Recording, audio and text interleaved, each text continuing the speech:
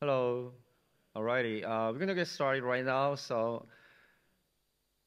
welcome everybody, and then I'm super happy to be here. And then hopefully you guys are really good lunchy. I actually uh, got some accident, some pasta box. I actually mistakenly uh, throw it uh, because I got a wrong day today. So we're gonna talk a little bit about next 45 minutes around the Quarkus 3 and then like a virtual thread. It's a little bit technical deep dive, but pretty sure you are all smart, awesome, and fantastic Java developers. So, uh, quick question uh, before get started. How many people are actually uh, interested in uh, or heard about uh, virtual thread, like an OpenJDK project?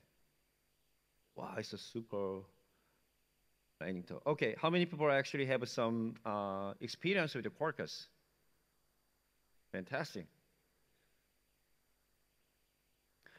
So my name is Daniel. I'm working for Red Hat as the uh, developer advocate, and then I specialize uh, cloud native runtime, such as Quarkus, and then Spring Boot, and also a bunch of the Java technology, JBoss EAP, and then Infinispan and messaging broker, and also JavaScript as well. I've spent a lot of time uh, more Java application into cloud, like a public cloud, like Amazon, Google, Microsoft, as well as Kubernetes. I'm also Java champion and then uh, Cloud Founding uh, CNCF, uh, Cloud Native Computing Foundation ambassador for the past couple, like five or six years. I'm actually based on uh, Boston, United States. I'm literally attending JCon Cologne in Germany this week, but I don't want to miss this opportunity, meet a lot of people in Luxembourg. My first time. So that's why I got really wake up really early morning, like uh, 5 a.m. I took the train. My ticket actually supposed to be just one stop transfer from uh, Koblenz from Cologne, and then I got to take the one train from Koblenz to Luxembourg. However, when I got the Koblenz station, uh, I cannot find my train anymore. And they said, yeah, there's no train, like a direct train from there to here no more direct train. So how do I get there? And then they print out some chunkable papers, and then you need to uh, take the bus like a uh, next 70 minutes, and then uh, you're gonna take the two train and the one transport, something like that. So my like uh, some journey was supposed to be uh, arrive here like uh, almost three hours. However, I actually spent more than four and a half hours. Fun fact is I'm gonna do the same thing right after my talk, I'm gonna back to the uh, Cologne because I leave my package stuff there. And then tomorrow morning, I'm gonna uh, take the another train from Frankfurt, uh, from Cologne to Frankfurt, and finally I gotta uh, fly back to the Boston.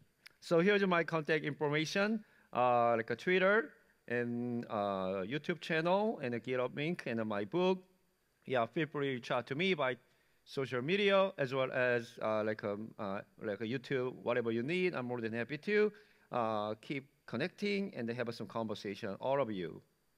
Alrighty, so let's try to take a one step back, try to understand uh, thread on JVM and the Java stack. So everybody using uh, thread and the processes on your Java application. Well, here's a little bit uh, just to remind just everybody knows that, but just a reminder that uh, real quick. So when you uh, develop Java application, aka program, that actually running on inside the process, and then that uh, your application code is literally runs on is a process thread. You can say like a platform thread or uh, operating system thread. There are slightly between, uh, differences across the platform thread and the framework thread or operating system thread and the workers. But I'm not gonna uh, uh, deep dive with the kind of stuff. But you are more than happy to ask me after the talk, and I'm more than uh, give you some what kind of stuff is really different uh, between the platform thread and the process, and then uh, workers. And then in a short, uh, long story short, you're gonna run your application running on process thread, like a platform thread. It really, it, but that's not one process thread. It's literally multiple thread in one process. It really spawn new uh, thread whenever you have a new request. And then if it eventually your operating system actually schedule uh, your thread, like a process, and then uh, based on like a CPU memory uh, utilization. So this will really happen underneath when you run Java application running like a Java command line or running on a middleware like a Tomcat or some of the app server. So this is how thread works. And then we, we're going to really talk about today imperative, like a non-reactive application. It's a traditional application, just uh, implement like a request response, like a, over the HTTP or HTTPS. And so when you uh, invoke some new request, for example, RESTful API, and then it literally operating system, okay, we're going to create a new worker. It's like a platform thread or process thread. And then when you uh, run your uh, application running on uh, like a worker thread, and then your microservice application not standalone. It's a literally connect to some kind of backend services, which is like a database or a messaging broker or some networking stuff.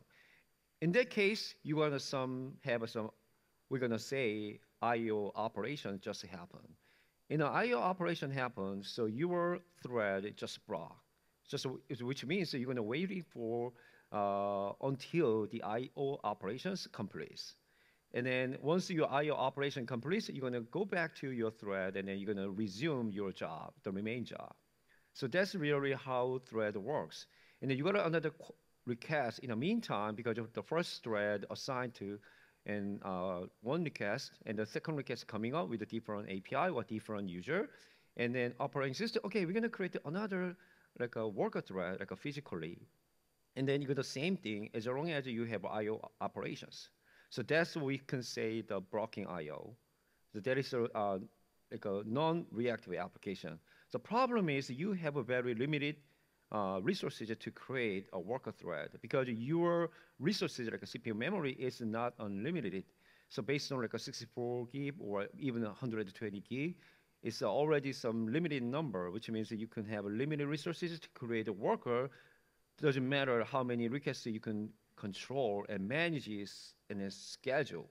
So that's reactive program actually was born and designed to um, manage this kind of concurrency. So as you can see, for example, one like a thread, and then we're gonna some still I/O operations stuff, but this is not blocking your thread itself. However, it's actually share your existing thread. You're gonna say like an event loop. So you don't see any blocking in the thread in the like a illustration. And then even if you can manage and schedule multiple requests at the same time, one thread, and then but how do you resume and back to the your stop it thread? That's why you have some executor, executor, and also continuation mechanism on your reactive programming model. So continuation is uh, pretty simple. You just store your thread state and then what is your callback?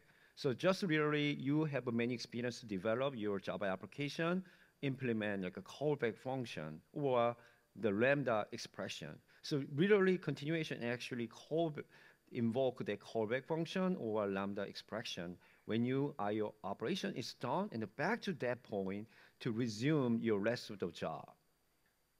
But I'm not going to say reactive programming model only use one single thread. You can actually use multiple thread, but not gonna to create thread for each request. That is the big difference between imperative and reactive programming. And here is the bottom line when you develop reactive programming. I know I've been there a lot of time spent more than a couple years to uh, migrate from Spring Boot to Spring Reactive. It's a totally different animal.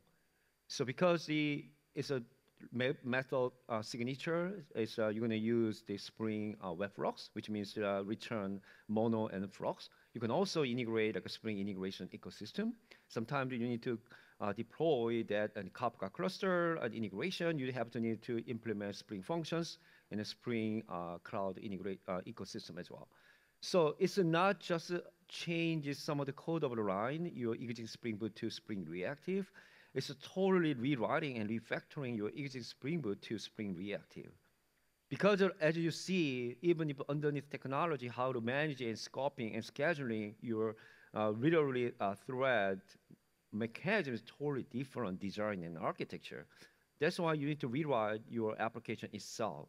That's totally makes sense. So one of the bottom line, whenever you design reactive programming, you always need to never ever try to block the IO thread. If you block the IO thread mistakenly, and then your reactive event loop is just broken, come back to like a worker thread right away. So this is just some blue like a bullet point between the imperative, aka non-reactive, and reactive programming. So non-reactive programming, you've been doing a lot for the past maybe 10 years, maybe 15 years. It's a, too obvious. You could just return your like a string or a collection, like array list or a list type, pretty obvious. And then you just call database and then just get uh, the already correction and return to your web UI and the rendering like a tables or shiny HTML. So it's pretty much easier to uh, implement your business services based on non-reactive application. That's why going to say simple development model. However, it's, it's, it's resources so expensive. Like I said, let's say we have a need to one uh, megabyte for one worker thread, but we have a 10 microservices, which means we need to 10 megabyte for like a 10 worker thread, just like this thread stuff. However, reactive programming is a little bit not easy. I mean, it's more like a complicated to run, how to develop. Even if you are a, a like a beginner developer to develop reactive programming with Spring Reactive, you got a bunch of stuff to learn and then do practices. So that's why it's a, and then more important thing is, it's not obvious to debug your application regardless of matter. So for example, when you implement your method, you're going to use like a lambda expression as well. You're going to mapping your result from like a database into your Java beans, and then you're going to filtering which one I need to actually dispatch. And the last thing is you're going to subscribe the result as a streaming. So it's not like a simple like a development programming model. So that's why really complicated.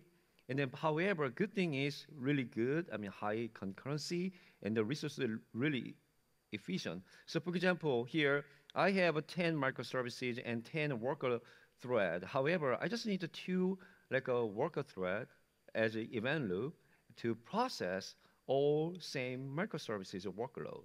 So that's why reactive is pretty much more like a concurrency, even if it's complicated. So if you think about your existing microservices on your production, okay, we have maybe just less than 10 microservices running on virtual machine. You don't need to think about reactive programming model.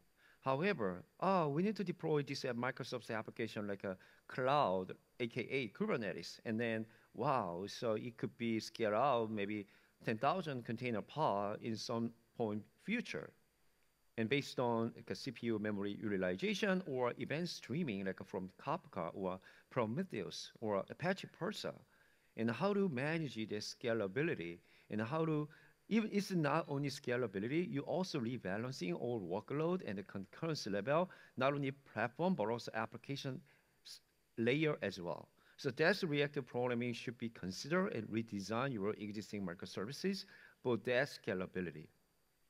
So what about the project loom? It's a project loom. It's uh, uh it's under like under uh, new like some project under the like uh, OpenJDK. So the idea of the project loom try to combine uh, benefit from both sides. So as I mentioned earlier, the non-reactive programming is really easy. I can develop right away once I know what kind of business logic I need to develop, okay, I need to uh, dispatch this database data and then put into like a web UI. We do some kind of uh, HTML file, response UI in the mobile and even web pages. I know how do I do that.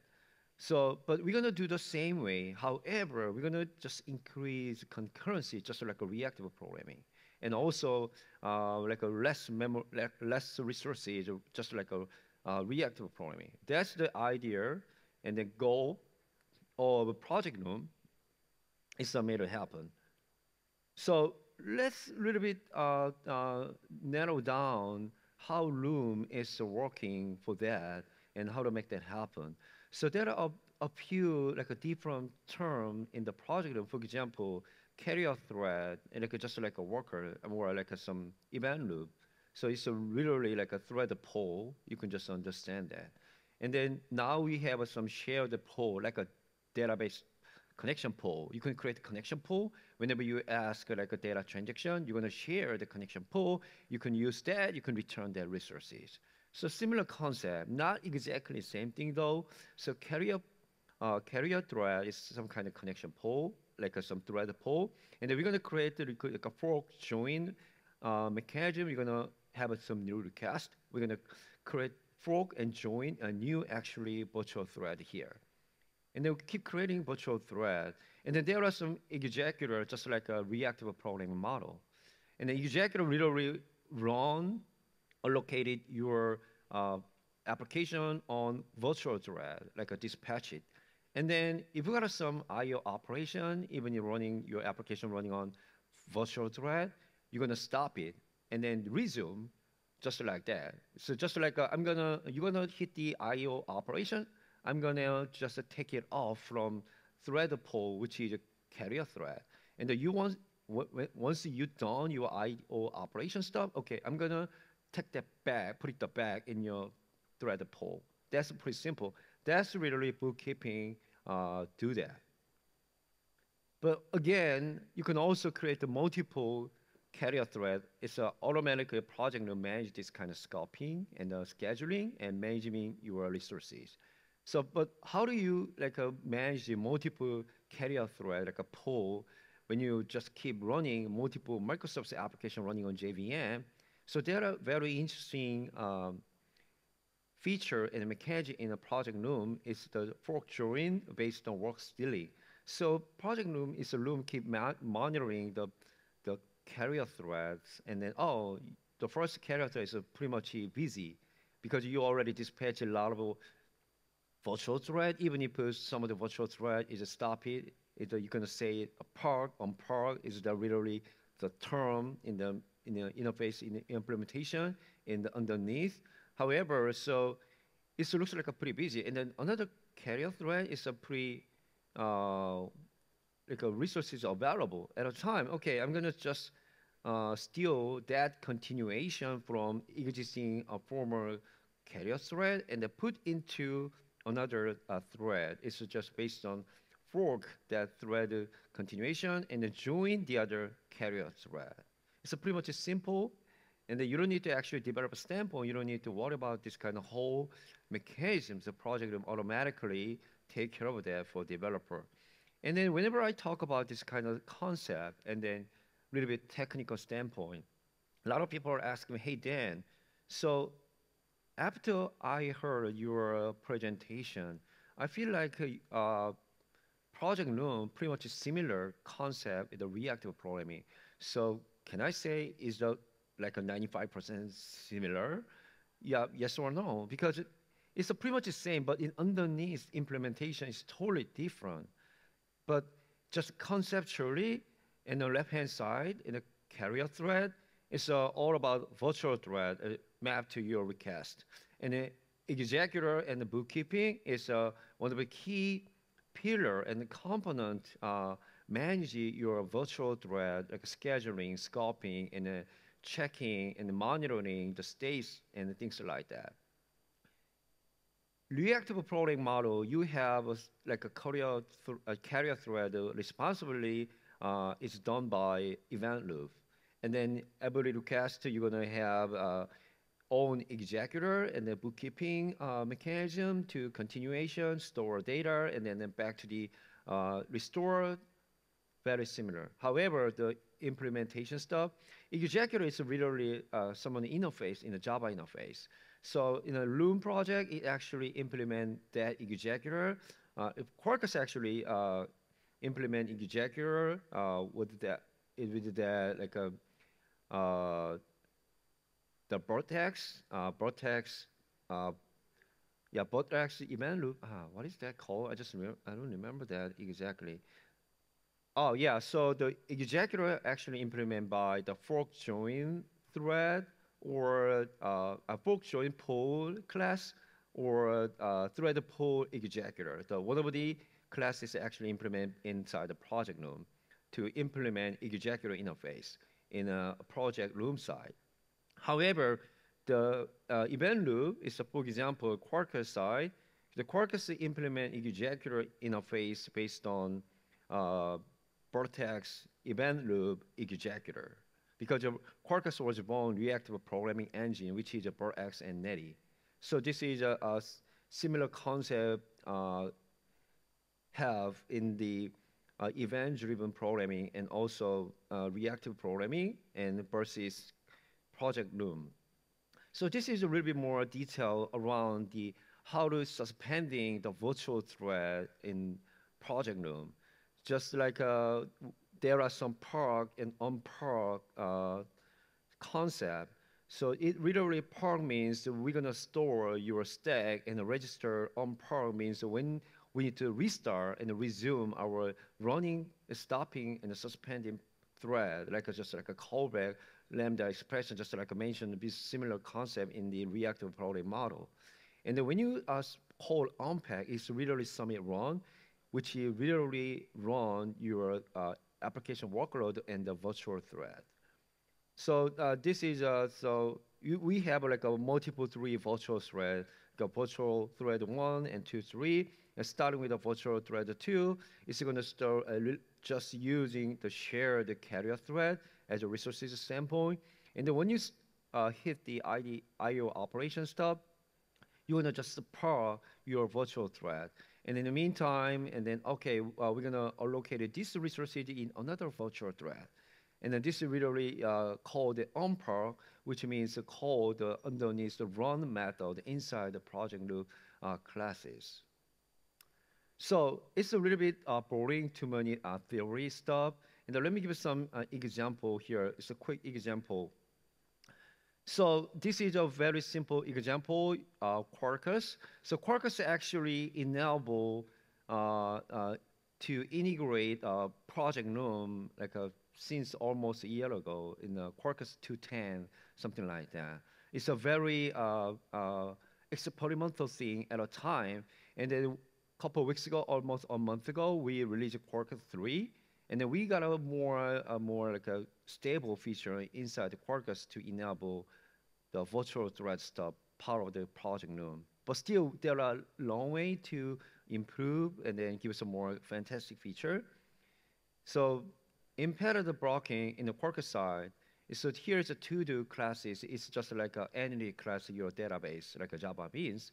It's really connect to like a, for example, PostgreSQL database, and then grab all data from the uh, database using uh, Quarkus Hibernate ORM and a Panache extension, which allows me uh, to use existing uh, fundamental operation. So I don't need to implement like a getter setter, also fundamental operation, for example, restore all data, or delete data, and get data, or create data. So this is one of the benefit compared to Spring JPA. And then uh, it's pretty simple to be obvious. And then what about the reactive stuff, the right-hand side? As you can see, the return signature is different, like a uni. Like a Spring Boot use WebFlux to reactive programming. You're gonna return uh, most the mono is a one event or the stream event is a flux. So Quarkus actually implement a Mutiny based on SmallRye project integration, uh, which allows Quarkus developer to use uni multi-signature as a method return type. So uni really like a uh, mono, like just one event, and then multi is a really multi-streams, like a, like a flux in the Spring Webflux stuff. And then you also need to really change your um, business logic to return all data. And then virtual thread is a very interesting in Quarkus side.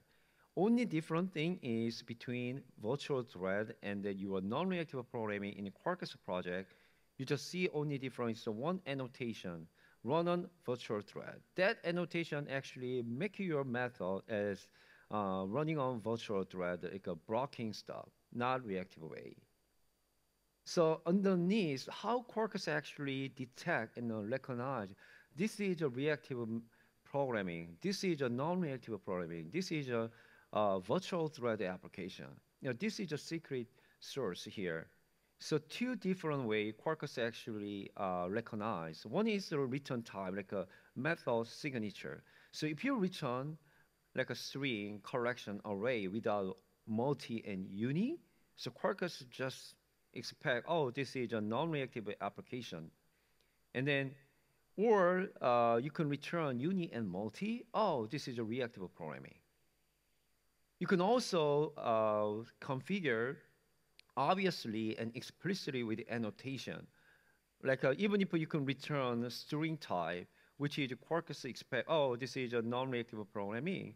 And then you can put in the like a non-blocking annotation on the on top of the method. Oh, Quarkus actually prior give some priority annotation. Okay, this is gonna be treated by non-reactive programming because non-reactive programming non-blocking I/O based on event loop.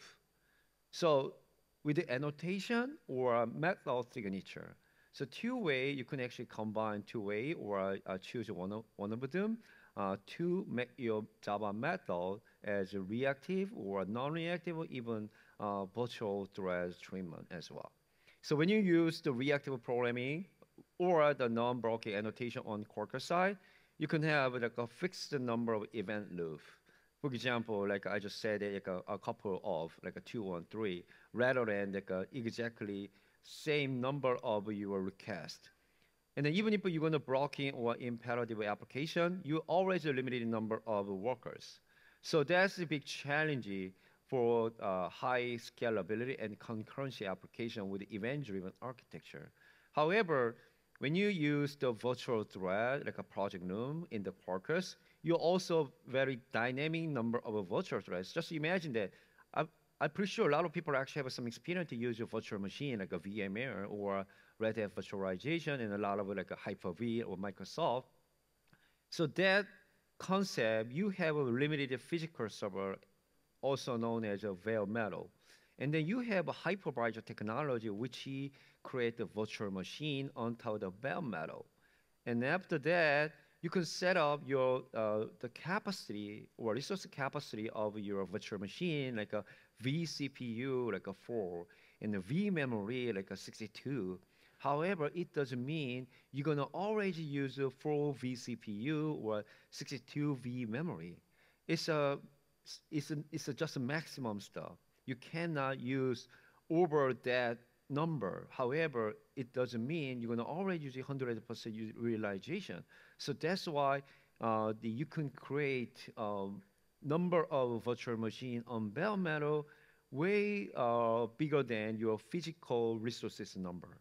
So that hypervisor actually manages that kind of thing. So virtual thread and then carrier thread is all about uh, similar concept uh, compared to like a virtual machine and hypervisor and bare metal. Also, the, when you have some chance to take a look at the project Loom, and then they say virtual thread is a lightweight thread, also fibers. So, you know, dynamic number of virtual thread is more efficient and cheaper, and then for one uh, request with some carrier thread. So let me go to uh, a demo, and then here is my uh, GitHub repository, danieloh30, and the Quarkus Studio app main. So you can visit my uh, GitHub repository, uh, later this talk, and you can just clone it, and then just running on your machine, you literally the same result. Alrighty, so this project actually uh, multiple projects, three projects. Hopefully everybody see that. Okay, let me try to one more bigger. So three projects. So one project is based on non-reactive uh, to do, and then the other one is a project Loom. Here is a baseline. Project Loom actually still uh, preview feature on JDK. It's only available Open JDK 19 and later version. So today I'm going to using JDK 20. Uh, it will be like a stable feature once JDK 11 release. Going to be like a uh, like a this fall, like a September or October timeframe. But for that, it's a still preview feature. And this is a project Loom, this is a reactive stuff. Let me try to go to uh, a little bit, take a look at the project projecting. So, so all project actually using RACE 1 here, uh, 312 final. And default Java version is 17. And then, so here's the uh, three module. So when you go to first module, it's a first project. And then you're gonna have a same like a Hibernate ORM, and we're gonna use it the PostgreSQL, and then uh, you're gonna you, we're gonna use a Hibernate ORM Panache. It's like a SQL mapper, and they give us some uh, active record pattern. I don't want to develop any kind of DB transaction uh, fundamental operation, and also I'm gonna using uh, like a JSON to uh, return the JSON format file. So here's my application. Uh, I'm going to show you real quick. So to do is just like an entity class. As you can see, I'm going to just implement a public like a like a database field name, like a title. Complete is a blue balloon point, and then boolean, and then here is some of the list. I don't have any uh, getter setter, and then I don't have any like a persistent some stuff, because when I go in uh, a Panache entity, it actually uh, gives some more detail. When I go to Panache entity, here's a Panache entity base. This is all already implement all kind of data uh, database operational stuff here. How to uh, persist my data, how to delete my data, and then uh, how to uh, retrieve my data, uh, just all data or some find by specific particular ID. So this is one of the great things. You can also uh, very traditional repository pattern when you develop the data transaction, like a CRUD transaction, just like a Spring Boot JPA as well. Alrighty, and then that's enough. And then here's the RESTful API resources like a Spring Boot controller. And then here's the RESTful API, and then uh, here is the uh, get method, and then uh, some specific ID. And then one uh, annotation transactional, which allows me save the data or update the data, like a uh, DML stuff in a SQL perspective. I'm going to print out the thread, what is the current thread. So let me try to terminal, and then I'm going to try to run Quarkus project. And then one interesting is, so Quarkus actually provide the dev services, and then which is based on test containers. But test container, in order to use a test container, you know, you're going to set up test container your Java project, like a Maven, Gradle, and also specify configuration and which container image I need to pull down my local system and what kind of literally configuration, for example, PostgreSQL database, what is the JDBC URL and username, password, and things like that. So Quarkus actually get rid of the fundamental responsibility from application side and the developer. Just use that, Quarkus automatically stand up relevant container image as long as you already run container runtime, which is Docker Podman. And then uh, set a default configuration, uh, which is a mandatory, like a username, password, or token, things like that. So I don't have any running process right now. And then I'm gonna run Quarkus uh, demo, or uh, you can use a Maven Gradle, things like that. So when I run, you can see that automatically uh, PostgreSQL database is automatically stand up. So now I have a PostgreSQL here, which is automatically stand up. When I just stop it, my uh, Quarkus demo, it automatically terminated my container runtime, like a container uh, process, which is really convenient for me. I don't need to use a Docker CLI or Podman CLI and a, like a pull container and run container. I don't need to uh, stop it or Docker kill, Podman kill. Pretty much easier.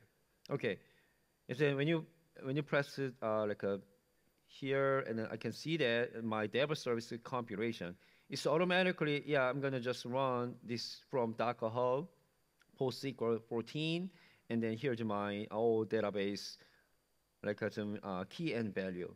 So when, uh, for example, I don't want to use database password like Quarkus.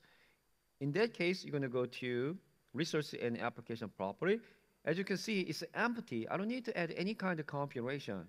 But I already set up database, which is really awesome. If you change that, just override like a, like a password, like a Daniel. You can change that. You don't need to even remember all key and value. You don't need to go to like a, some stupid documentation. It's pretty convenient, isn't it? And then I'm going to go to uh, the Vim UI, and then here's, okay, uh, pretty good. So I just introduced Quarkus in parallel application. I just a little bit talk about Hibernate Panache, and then I'm going to just showcase the visit Quarkus website. uh, which is, uh, yeah, everybody knows a Quarkus.io. And then you can see that we actually launched Quarkus 3 uh, month ago. It literally, uh, we support like a Jakarta EE10. You cannot find the Java X package namespace anymore. And then we support Hibernate ORM S62, which is way different and way uh, high performance than uh, Hibernate 5. And we also spend a lot of time uh, like a developer experience uh, and uh, productivity and the Kubernetes integration and also microprofile 6 and uh, Java 17, things like that. Okay, so when I go back to my terminal, now I can see that my thread is just executor thread, which is just a worker. And then when I like a like a let's try to hey uh, Voxxed Days and then I just create a new one, and now you can see the new one. And then I just create a new one here. Also, thread is a worker thread. If I uh, reload and then restore all data again, and I got a new, it's just a worker thread. So this is literally uh, when you just develop non-reactive application on Quarkus, Quarkus automatically detect, oh, this is a non-reactive. I'm going to just run your application as a worker, which means I'm going to uh, ask uh, and then uh, scheduling an operating system can create a new worker thread uh, as long as your local machine, for example, my local machine, Mac OS, and then ARM64 allows some uh, allocated some resources. Okay, I'm going to stop it, and then I'm going to change it like a reactive programming. And then, first of all, I'm going to run again Quarkus demo. And back to the uh, project, and so let's go to reactive programming. And the reactive programming is pretty much simple. One different thing is uh, our POM XML. You can see that all reactive stuff. So this is a reactive, uh, uh, like a reactive, uh, reactive and reactive, like a PostgreSQL client. We're gonna just react to all data transaction, and things like that. And application, we're gonna slightly change it also. You can see that the uni, not just REST, and we're gonna wrapping our uni and then also they are just return type, things like that. So this is literally Quarkus detect automatically, even if there is no non-blocking annotation, with the method signature and return type, Quarkus gonna treat this application as the reactive programming. Now, just my Quarkus application run. I'm gonna go back to WebUI, revisit and reload. And now we're gonna really change that here, Quarkus reactive application. And reactive power of Quarkus is high concurrency and then uh, cheaper, and then your cost, and then we also Hibernate reactive with the panache, so you don't need to worry about some like a uh, data transaction programming with the reactive program. And I also show my uh, Daniel TV. Uh, I already uh, recorded some of the demo with that, like more than 200. So let me try to, hey, uh, it's a Quarkus reactive apps and I just save a new one and back to the terminal.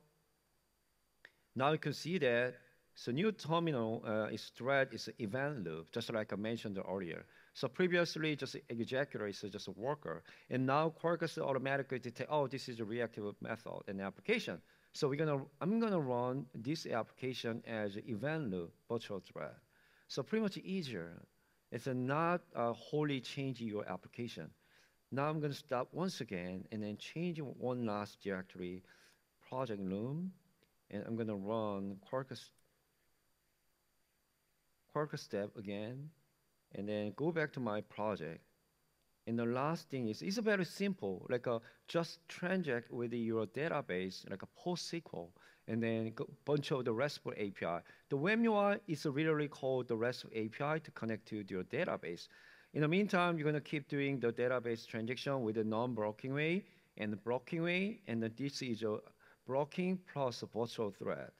So this application, and one interesting, when I go to POM XML, this is one of the secret, how to enable this preview feature on the JDK uh, enable project Loom. When you go to POM XML and then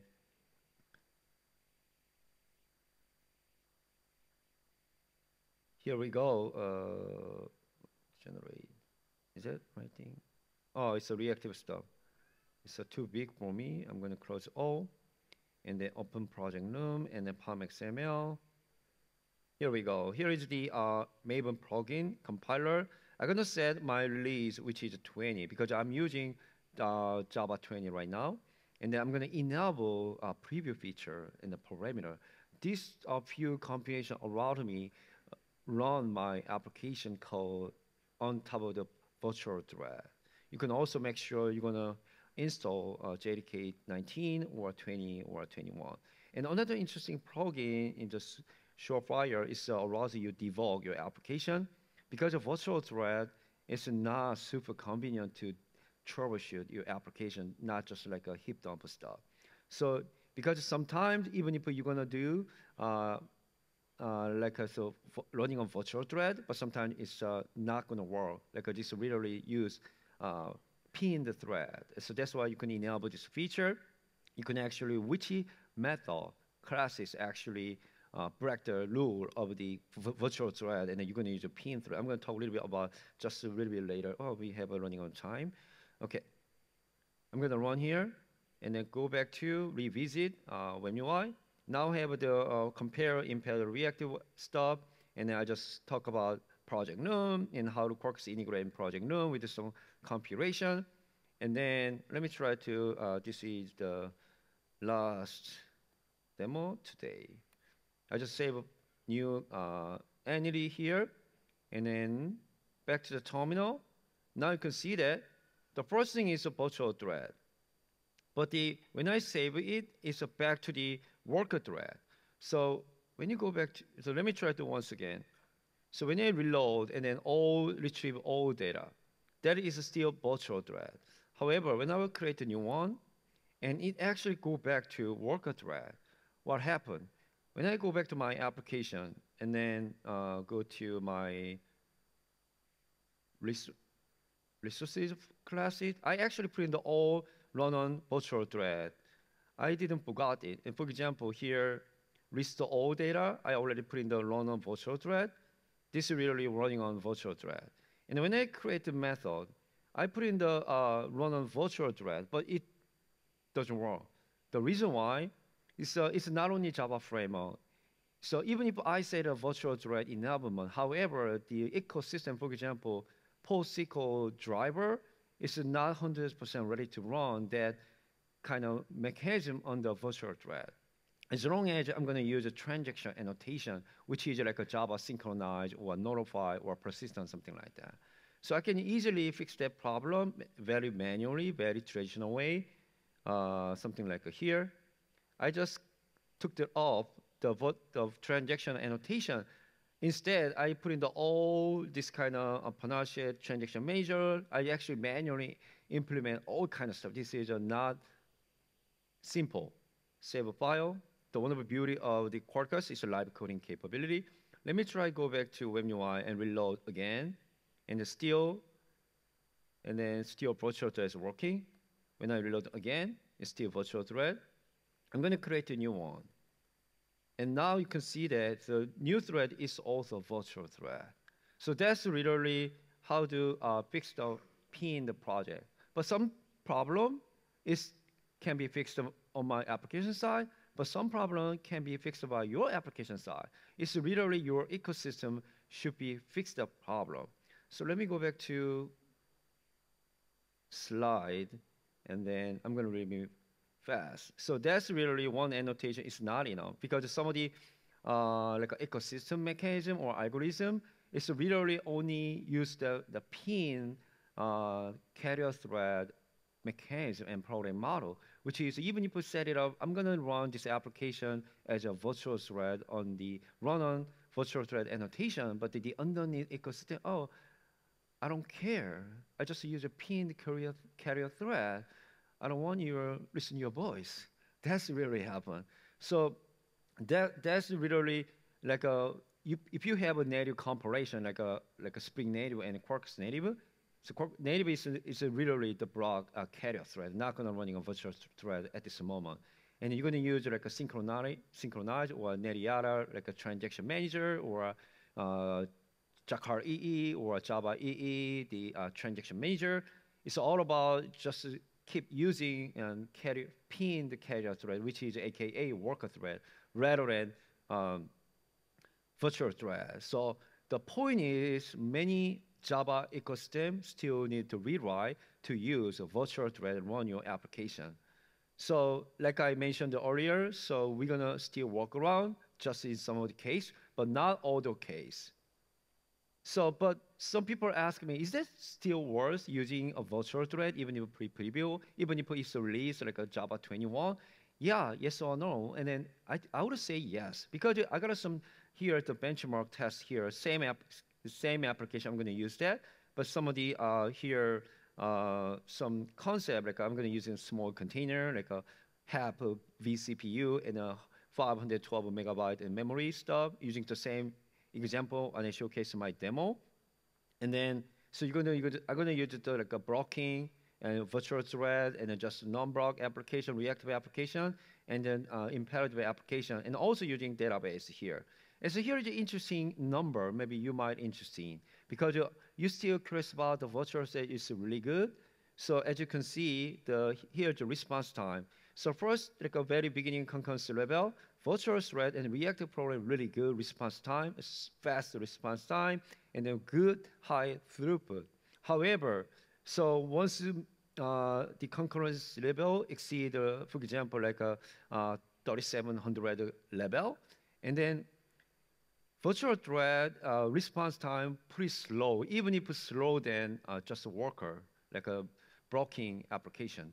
And then throughput also, like a 3700 concurrency level, is a way uh, less than even worker. So, so in the injust case, some of the case in the concurrency level, so we have only concurrency level less than 2000. Okay, virtual threads are pretty much better than, faster and cheaper than your like a traditional imperative application. However, reactive application all the time super better than React uh, virtual thread application as well as uh, blocking application. So what about the resources and the CPU and then uh, RSS memory, like heap memory plus and non-heap as well? It's also same concept until some of the concurrency level, virtual threads are way better than uh, blocker blocking application. But reactive application all the time is less memory and then less CPU. But in after some of the concurrency level, virtual thread is an application on the virtual thread is more or less uh, more uh, consume memory and CPU realization rather than uh, blocking application. Even if it's uh, happening similar in container environment like a Kubernetes. Because Kubernetes, you expect that there are many concurrency and uh, high scalability, just like a, uh, like a 10,000 like a scale out based on event-driven application. So this is a, once again redefined. So we combine as a goal of the project Loom, okay, it's simple development model, and then resource efficient and how high concurrency. I'm going to ask once again. So, so simple development model, yeah, yes or no? It's a little bit okay because the I can really easy with the Quarkus integration just in the one annotation. Sometimes it works, sometimes it doesn't work. Uh, depends on which Java ecosystem you're going to use. So that's why I want to say okay not thumbs up. So high concurrency, yeah, still good. But the resource efficient, yeah, finger crossed. Because uh, when you reach out and uh, exceed some of the level of concurrency, it's way less than even blocking model. So it's not all the all the way not thumbs up. It's sometimes thumb thumbs like some like okay worth of finger crossed. So key takeaways: so Quarkus keep having effort and give some effort to integrate um, like a all reactive API, like a database and network client, and then like a Quarkus QE, like a Quarkus Qute, the template engine. So we're gonna uh, more uh, integrate feature uh, as friendly as uh, virtual thread. But however, we still have some issue to integrate ecosystem. It's not from uh, problem from like a Quarkus. For example, the Helidon Oracle, they also use uh, PostgreSQL client based on Netty they had the same issue, just like a Quarkus, like a, a data transaction, back to the worker, not keep doing virtual thread. And then we're gonna some roadmap to integrate uh, like a Kafka messaging and WebSocket, and we're gonna keep doing tuning stuff.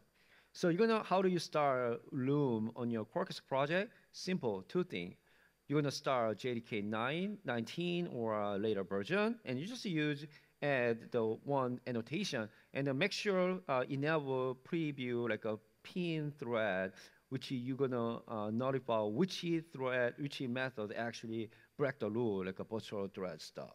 So my session title, Quarkus 3, the road to Loom for cheaper, faster, easier concurrent application. I'm gonna just ask uh, like a question mark because the with the carrier thread pinning, it's not always uh, efficient. So maybe concurrent is still good and a little bit simple. Sometimes uh, your netty and then relevant uh, carrier thread uh, could be compromised. And so again, I could just uh, put in the all kind of demo stuff, my YouTube channel. Yeah, feel free scanning and then subscribe and then ask me, hey Dan, I need to run something new around uh, Quarkus or Spring Boot or comparison or Kubernetes scalability. And then I'm more than happy to uh, uh, address your technical question and then creating new uh, tutorial content as well. That's it. Yeah, sorry for the running out of time, and thanks for coming, and hopefully enjoy the rest of the conference. Thank you.